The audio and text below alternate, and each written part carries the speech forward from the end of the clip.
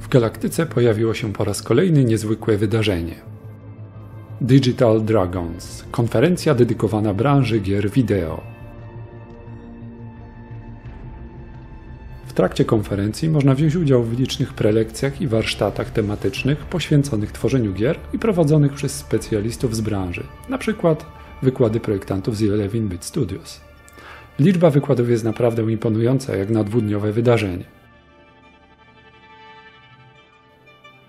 Podczas konferencji mają także miejsce prezentacje oraz konkurs twórców niezależnych produkcji Indie Showcase. Nieodłącznym elementem Digital Dragons jest uroczysta gala rozdania nagród.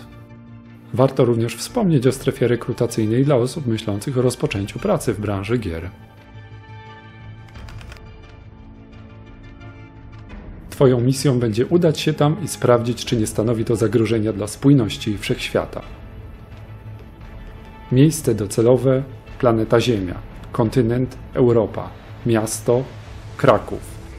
Centrum kongresowe położone w pobliżu Wawelu oraz tajemniczej jaskini zwanej Smoczą Jamą.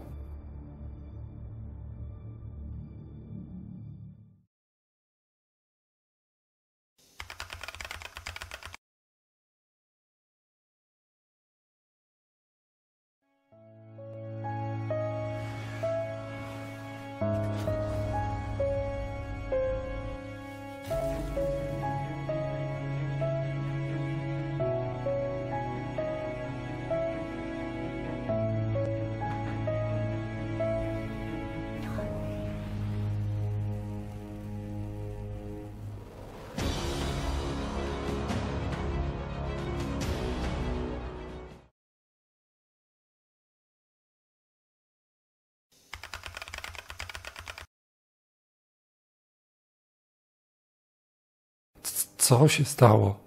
Gdzie ja jestem?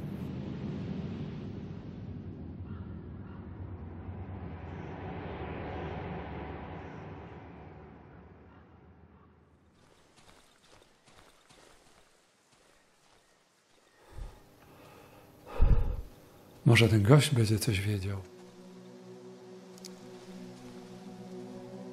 E, Cześć, witam wszystkich.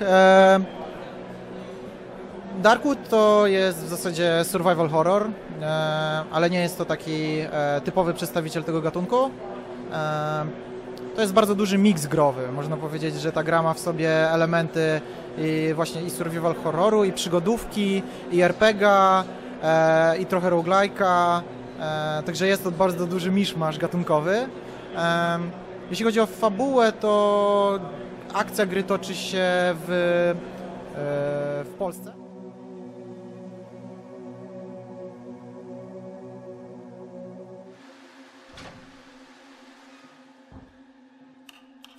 Staraliśmy się czerpać e, z kultury polskiej, bo stwierdziliśmy, że będzie to najbardziej autentyczne. No, Moglibyśmy oczywiście to umieścić e, wszędzie, w Stanach czy gdzie indziej na globie, ale tu mamy tak jakby swoje doświadczenia i swoją historię, którą znamy najlepiej, więc e, stwierdziliśmy, że najlepiej to odzwierciedlimy. I tak postanowiliśmy zrobić. Rzeczywiście gra dzieje się pod koniec lat 80. w polskiej wsi, pod koniec lat 80. na polskiej wsi, która jest otoczona lasem i zupełnie odizolowana od świata zewnętrznego przez gęsty las.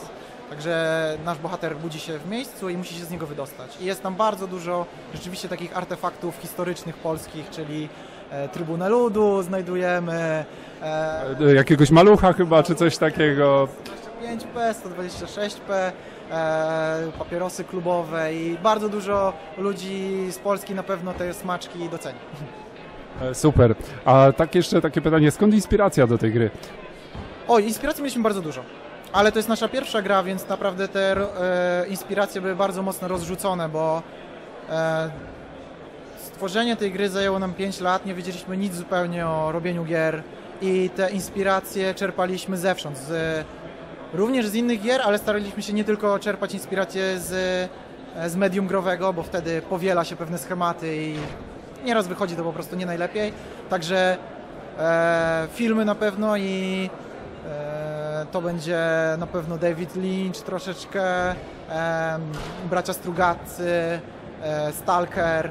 To były nasze takie, tak mniej więcej oś, w której się poruszaliśmy i to chcieliśmy.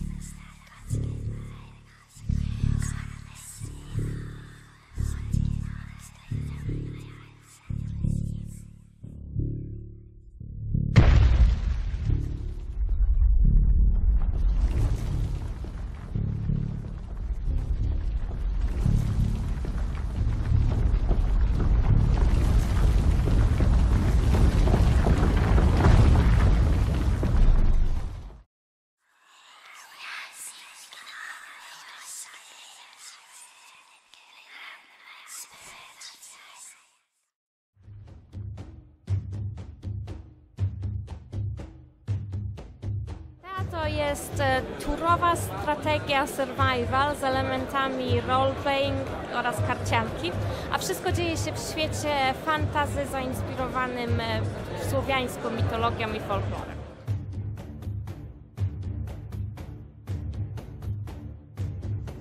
Pierwsza gra to była Tia The Awakening, ona wyszła już e, dwa lata temu jakoś ponad, a teraz robimy właśnie kontynuację ta 2 The Shattering.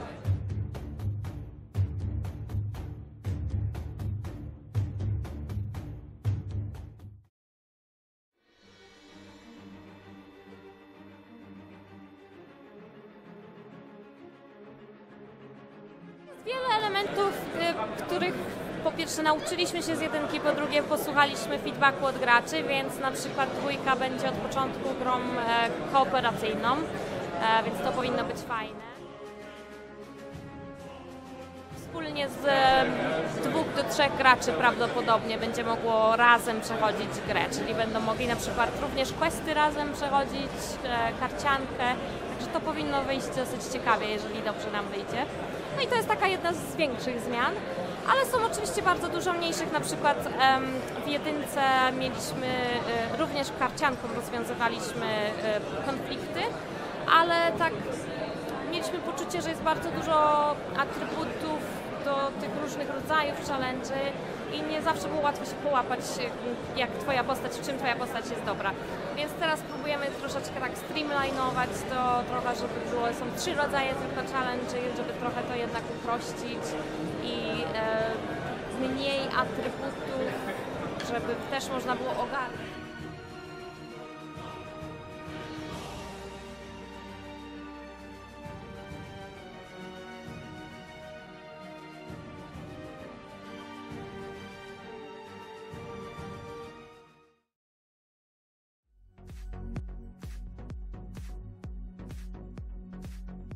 Jak mogliście zobaczyć, miałem wiele przygód w drodze na konferencję Digital Dragons. A tak na serio, chciałem podziękować przede wszystkim serdecznie wszystkim osobom, dzięki którym mogła powstać ta relacja, za prezentację gier oraz za poświęcony czas mimo napiętego harmonogramu. Jak mogliście zauważyć, relacja jest bardzo subiektywna. Wybrałem w zasadzie dwie gry, które mnie interesowały. Oczywiście gier prezentowanych na konferencji wartych omówienia było znacznie więcej, ale Chciałem również uczestniczyć w y, innych prelekcjach oraz wydarzeniach i nie starczyło mi szczerze mówiąc na wszystko czasu. Ogólnie jestem bardzo zadowolony z uczestnictwa w konferencji. Świetna atmosfera, mili ludzie oraz dużo ciekawostek. To są na pewno niezaprzeczalne atuty tego wydarzenia. Do zobaczenia, mam nadzieję, w następnym roku. Cześć.